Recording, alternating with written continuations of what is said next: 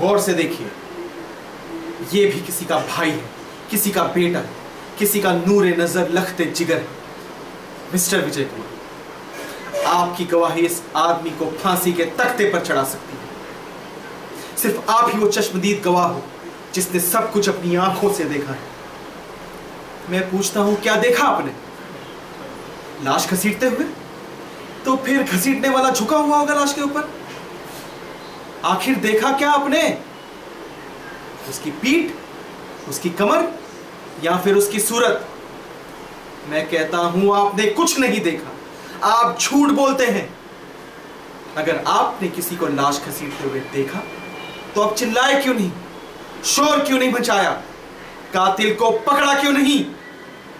Mister Vijay Kumar अगर जो कुछ भी आपने कहा वो सच है तो इस इंसान को सजाए मौत मिलना इंसाफ होगा। लेकिन अगर ये गलत है और इस गलती का इकरार आपने अदालत के सामने नहीं किया तो ये खून होगा।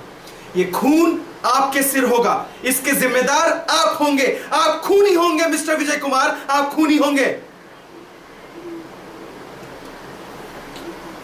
इस गीता पर हाथ रखकर कसम खाइए। उस रात जिसे लाश घसीटते हुए देखा, क्या ये वही आदमी है? ये किताब नहीं, भगवान है, भगवान का रूप है। इसे अपने हाथों में लेकर, अपने सीने से लगाकर कसम खाइए। क्या ये वही आदमी है जिसे उस रात आपने मोटर की रोशनी में देखा था? आप चुप क्यों हो?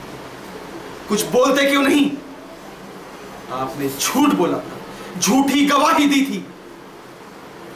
मिस्टर विजय कुमार अगर इस इंसान के साथ नाइंसाफी हुई तो कुदरत आपसे बहुत बड़ा इंतज़ाम लेगी मिस्टर विजय कुमार, आपकी माँ बीमार है।